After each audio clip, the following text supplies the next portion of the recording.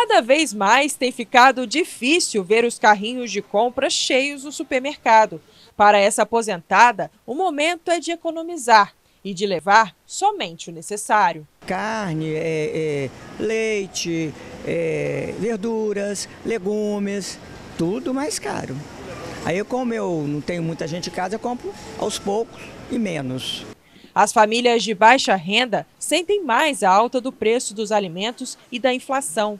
Mas apesar do que a população observa e sente no bolso na hora de fazer as compras, uma pesquisa da Associação Brasileira de Supermercados divulgou na última semana dados sobre o aumento do consumo das famílias brasileiras. Segundo o presidente da Associação Capixaba de Supermercados, Hélio Schneider, a alta do consumo também pode ser destacada no Espírito Santo esse ano, sem dúvida nenhuma, principalmente agora no segundo semestre, e a tendência, com certeza absoluta, é isso daí ainda melhorar muito mais. A gente espera que a economia do, do país ela está crescendo de um modo geral, aqui no Espírito Santo também, conforme eu falei.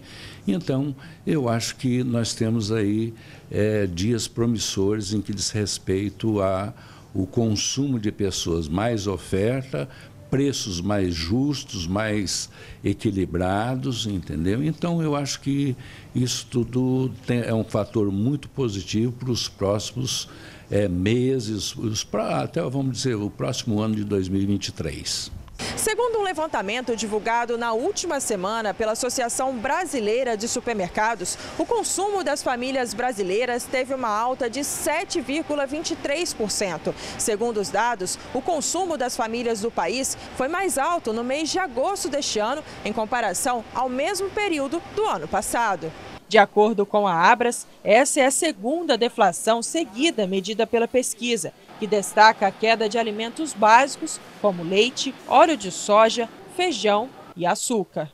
Nós tivemos aí um período muito é, muito problemático em função do, do, do, tempo, né, do clima que nós tivemos, uma seca é, muito grande, inclusive no nosso estado também, isso refletiu no, no preço dos laticínios. E agora está vindo a, as chuvas, então as pastagens estão melhor, a produção ela está aumentando e quando existe uma maior produção, é aquele velho ditado, é a lei de oferta e procura. Nós temos mais oferta e a consequência, sem dúvida nenhuma, é preços mais baixos.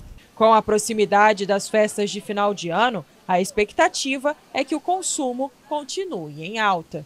Não só o consumo do, do, dos supermercados, mas de um modo geral. Você vai ver hoje os barzinhos, os restaurantes, isso tudo, quer dizer, está todo mundo faturando. Quer dizer, quando está faturando é porque é, a economia familiar também ela está se, tá se equacionando. Né? Então isso é, é bom para todo mundo.